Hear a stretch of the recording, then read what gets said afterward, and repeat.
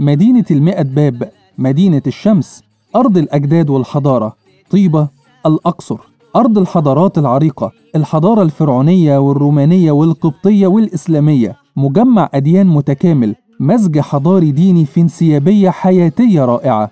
الأقصر تعد أكبر متحف مكشوف في العالم صالة عرض كبرى تحتوي على تلت آثار العالم وكأنها موسوعة لرصد جزء كبير من تاريخ مصر. ولذلك الأقصر مسجلة على قائمة التراث العالمي اليونسكو من عام 1979 ومن أهم الآثار الموجودة بالأقصر معبد الكرنك اللي يصنف تاني أكبر دار عبادة قديم في العالم والدير البحري وهو مجمع من المعابد الجنائزية والمقابر. كمان مدينة هابو اللي تحتوي على معبد جنائزي هام جدا لأنه أهم مصدر للشرح لهزيمة الأعداء في عهد رمسيس الثالث من خلال النقوش. ووادي الملكات المخصص لدفن زوجات الملوك في العصور القديمة ودير المدينة وهي عبارة عن قرية قديمة كانت سكن للعمال المتخصصين لحفر المقابر بوادي الملوك وكمان معبد الأقصر وطريق الكباش والبير المخصص كمقياس لمنسوب النيل. وأكيد من ضمن جدول زيارتك للأقصر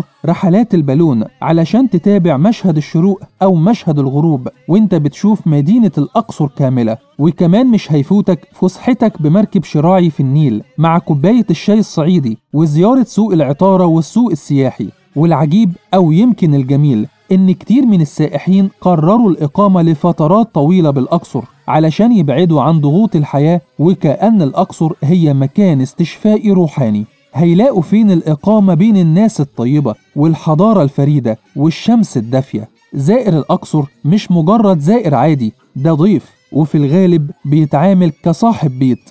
الأقصر أرض الكنوز وأهم كنز هو أهلها سواء أجدادنا القدماء أو الأحفاد. يلا سياحة ادعم سياحة بلدك.